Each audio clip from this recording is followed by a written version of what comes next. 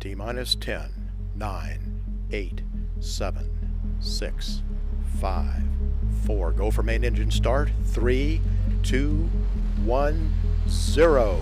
And ignition and liftoff of the Atlas V with the Solar Dynamics Observatory.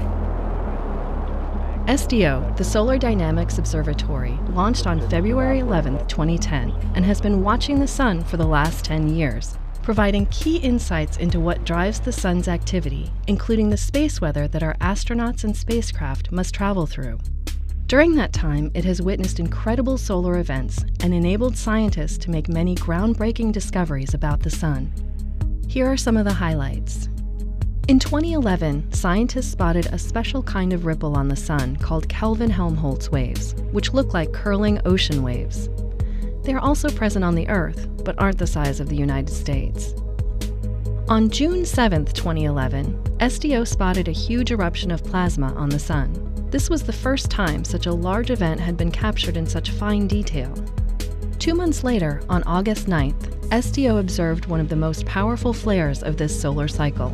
Flares are intense bursts of radiation caused by the release of magnetic energy. SDO records in many different wavelengths, including one tuned to some of the hottest parts of the Sun, allowing it to see the full extent of these solar explosions. On December 15th, Comet Lovejoy seemed to survive a close pass of the Sun, but broke apart a few days later.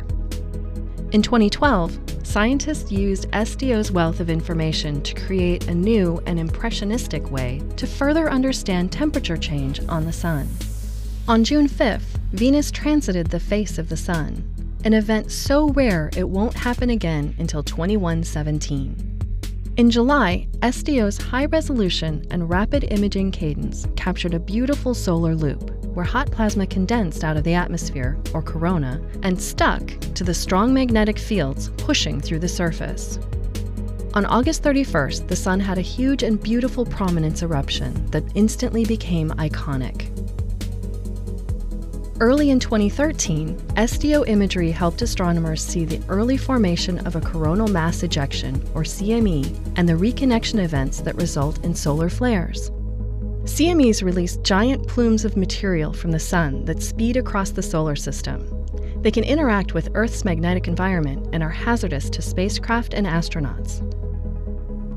The Sun was very active in September and October, first forming what almost looked like a canyon and then crackling with flares and CMEs for a week.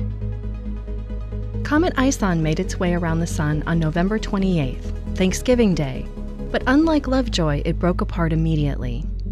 The Sun remained active in 2014, with many beautiful prominence eruptions and bright flares. SDO worked in tandem with the new satellite, IRIS, to help study these flashes. On December 19th, just in time for the holidays, the Sun put on its final light show of the year. The Sun has a cycle of activity lasting an average of 11 years, called the solar cycle, 2015 marked the beginning of the decrease in this cycle with fewer flares and eruptions.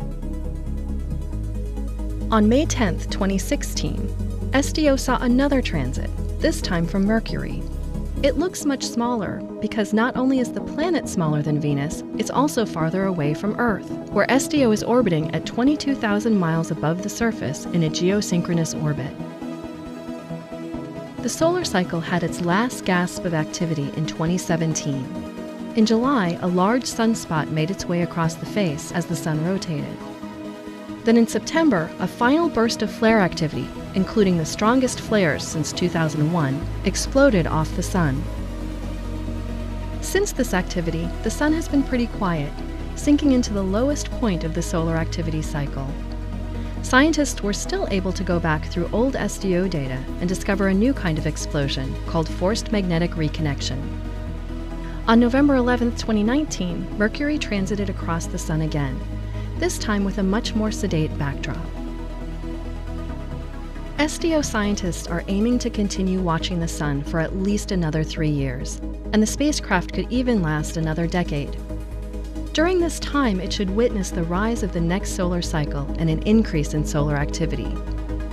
Without a doubt, SDO's last 10 years changed how we looked at and thought about our nearest star. Who knows what the next 10 might bring?